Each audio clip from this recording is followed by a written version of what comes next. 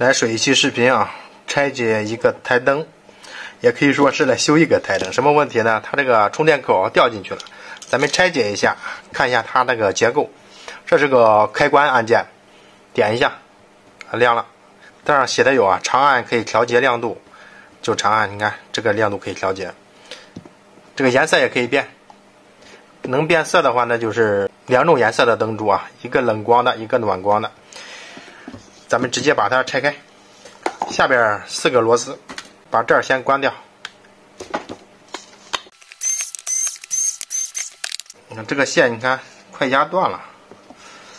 这里边一颗幺八六五零电池，一个小的电路板。哦，看这儿呢，USB 口是看到了吧？焊的掉下来了。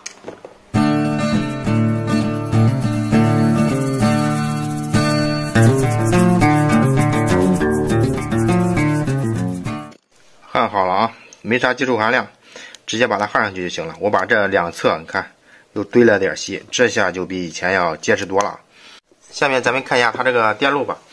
有不少朋友关心我这个支架啊，这个支架现在呢，你看已经不疼了，按着已经不疼了啊。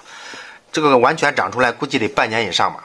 这期间呢，我也不用真人出镜了，这就是防伪标志。这个电路呢很简单啊，我现在是插了一个五伏的充电器给它充电，这有个指示灯。